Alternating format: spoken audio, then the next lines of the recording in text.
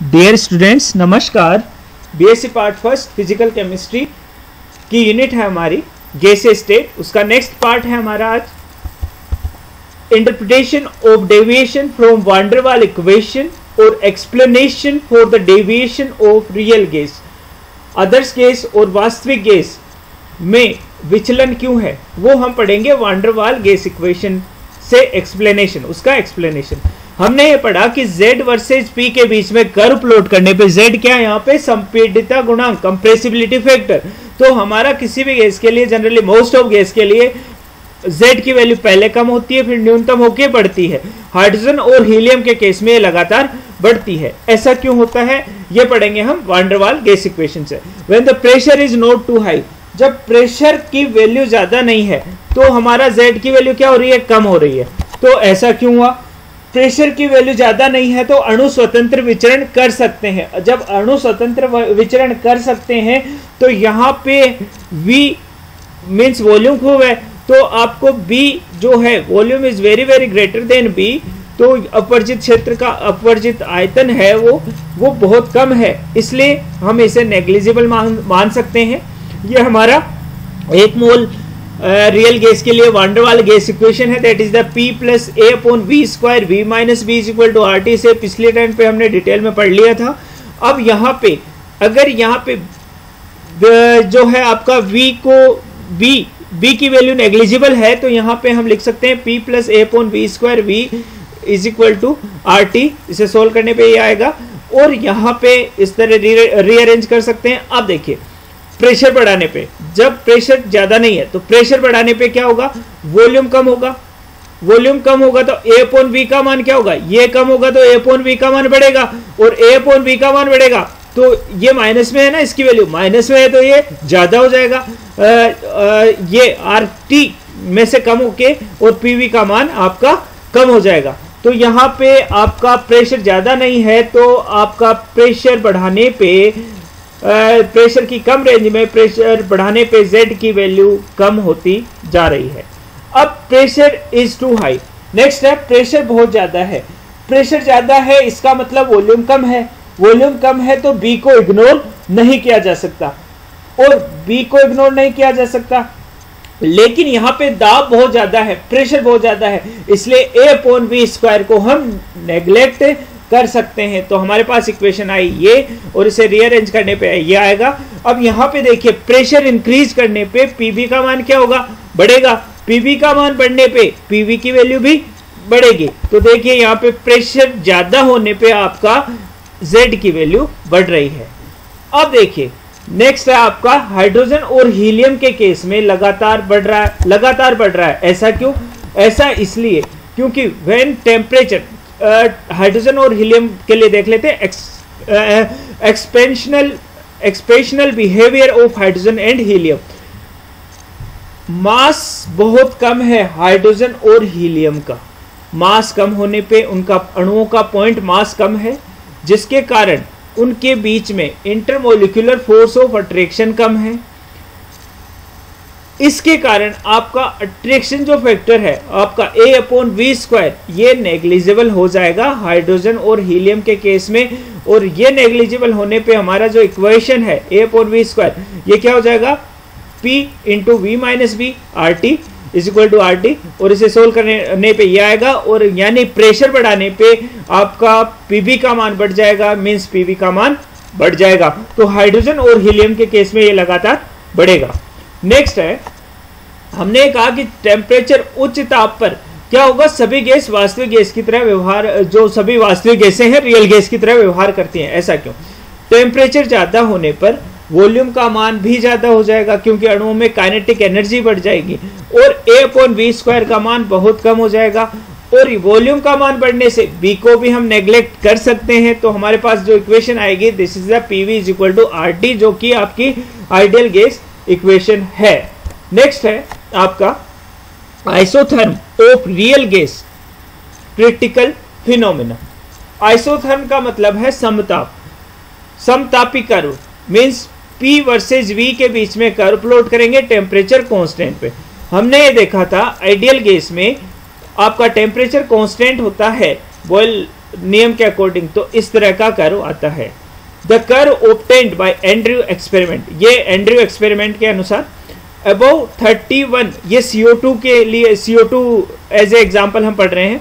Above 31.1 degree centigrade isotherms resemble that an ideal gas 31.1 degree centigrade के ऊपर जो isotherm है किसकी तरह है?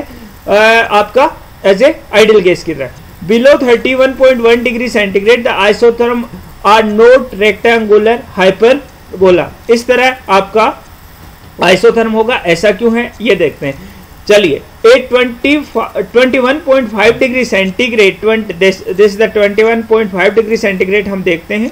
Portion E F shows gaseous behaviour of C O two ये ई e एफ़ जो है अपना दिस इज़ द गेस यहाँ पे ये जो आपका सी ओ टू है, किस फॉर्म में है? गैसियस फॉर्म में ई e एफ़ में।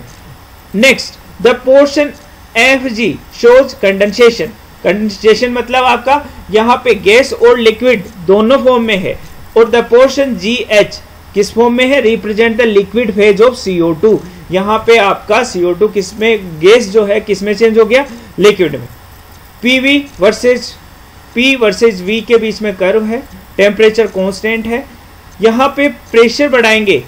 वॉल्यूम कम होगा। प्रेशर बढ़ाएँगे तो वॉल्यूम आपका देखिए प्रेशर बढ़ाया तो वॉल्यूम कम हो रहा है, इधर जा रहा है वॉल्यूम प्रेशर बढ़ाने पे और इस तरह का कर्व आ रहा है। At high temperature T two plateau region become shorter जैसे जैसे टेम्परेचर बढ़ रहा है, ये देखिए प्लेटो रीजन ये कम होता जा रहा है। कम क्यों होता जा रहा है, इसको पढ़ते हम। At the temperature T C T C means critical temperature this plateau becomes a point volume at at that point that is VC critical volume, and pressure. At that point, that is PC critical pressure. Means, आपका जैसे जैसे temperature बढ़ा रहे हैं, देखिए 31 13.1 degree centigrade से 48.1 degree centigrade की तरफ़ जाने पे, ये जो रीजन है कंडेंसेशन रीजन ये कम होता जा रहा है। यहाँ पे पर्टिकुलर एक टेम्परेचर ऐसा है, जहाँ पे ये जो रीजन है ना, ये पॉइंट में सिमट गया। इस टेम्परेचर को हम कहेंगे क्रिटिकल टेम्परेचर क्रांतिक ताप क्रांतिक ताप वह ताप है जिस पर जिसके ऊपर किसी भी गैस को लिक्विड में नहीं बदला जा सकता। और क्रांतिक ताप के नीचे किसी गैस सभी गैसों को लिक्विड में बदला जा सकता है। तो यहाँ पे TC, PC are collectively are as critical as critical constant. If T is greater than TC, gas cannot be compressed into liquid. Means आप प्रेशर इंक्रीज करके गैस को वॉल्यूम कम हो जाएगा लेकिन गैस आपकी लिक्विड में चेंज नहीं होगी। किस टेम्परेचर पर? क्रिटिकल टेम्परेचर पर। क्रिटिकल टेम्परेचर के ऊपर। क्रिटिकल टेम्परेचर पर जो वॉल्यूम है उसे हम कहेंगे वीसी और क्रिटिकल टेम्परेचर के आपका ऊपर जो प्रेशर है उसे हम कहेंगे क्रिटिकल प्रेशर पीसी यानी TC PC and VC are collectively known as critical constant तो यहाँ पे ये आपका, ये जो एरिया है C G P F B ये एरिया टेम्परेचर बढ़ाने पे क्या हो रहा है हमारा? कम हो रहा है। अब यहाँ पे ये एरिया क्या है? कंडेंसेशन यहाँ पे किस फॉर्म में है? आपका लिक्विड फॉर्म में है। अब हमारे पास दो तरह की हम पहले मानते थे। एक तो आपका परमानेंट गैस है, एक टेम्परेरी गैस है। परमानेंट गैस को हम मानते थे हाइड्रोजन और हीलियम और टेम्परेरी गैस जैसे CO2 है, इस CO2 है आपका। इस तरह की सारी गैसों को हम टेम्परेरी गैस कहते हैं क्योंकि उनको प्रेशराइज करने पे वो क्या हो जाती है लिक्विड में कन्वर्ट हो जाती। लेकिन अब अब क्या है? अब हमें पता चल गया टीसी के ऊपर कोई भी गैस है, क्योंकि इनका टीसी की वैल्यू बहुत कम होती है। हाइड्रोजन और हीलियम के हाइड्रोजन है नाइट्रोजन है ऑक्सीजन है, उनकी टीसी की वैल्यू बहुत कम होती है नेगेटिव होती है, और टेम्परेरी गैस की टीसी की वैल्यू ज़्यादा होती है। इसलिए जैसे सीओ है, उसको आसानी से आप लिक्विड में चेंज कर सकते हो नॉर्मल कंडीशन में। अब यहाँ पे आपका है अवस्था सांतत्य कंटिन्यूटी ऑफ़ स्टेट अवस्था सांतत्य का मतलब है कि बिना बिना लिक्विड लिक्विड को सॉरी लिक्विड को बिना आप लिक्विड प्लस गैस जो कंडेंसेशन की स्थिति है, इसके बिना आप गैस में चेंज कर दो। या गैस को आप प्रेशराइज करके आप क्या कर दो? बिना कंडेंसेशन मीन्स दो अवस्थाएँ ना इसमें कंडेंसेशन में लिक्विड और गैस इसके अलावा इनकी स्थिति आए बिना आप किसमें कन्वर्ट कर दो इसको? लिक्विड में कन्वर्ट कर दो। देखिए, यहाँ पे अपन प्रेशर इंक्रीज कर रहे हैं। प्रेशर इंक्रीज कर रहे हैं तो आपका वॉल्यूम कम हो रहा है। अब यहाँ पे क्या होगा? यहाँ पे एक इसमें कंडेंसेशन में दोनों अवस्थाएँ हैं। यानी आप वॉल्यूम तो कम हो रहा है, लेकिन एक प्रेशर हमारा कॉन्स्टेंट हो गया। क्यों हो गया? क्योंकि यहाँ पे वॉल्यूम और आपका जो गैस है और आपका लिक्विड है। दोनों क्या है? दोनों अवस्थाओं में उपस्थित है गैस। और इसलिए हमारा क्या हो गया? वॉल्यूम तो कम हो रहा है, लेकिन प्रेशर आपका इस रेंज में कांस्टेंट है। और नेक्स्ट अपन सी और डी की बात करें तो यहाँ पे क्या है आपका? वॉल्यूम।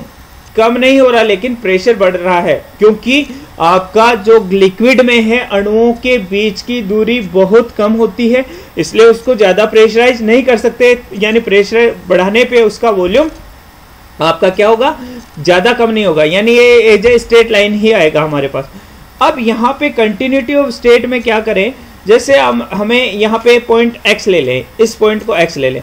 इस पॉइंट पे हमारा क्या है? किस फॉर्म में है गैस? गैस इस फॉर्म में है। गैस इस फॉर्म में है। अब क्या करें अपन? इसका प्रेशर बढ़ाते हैं।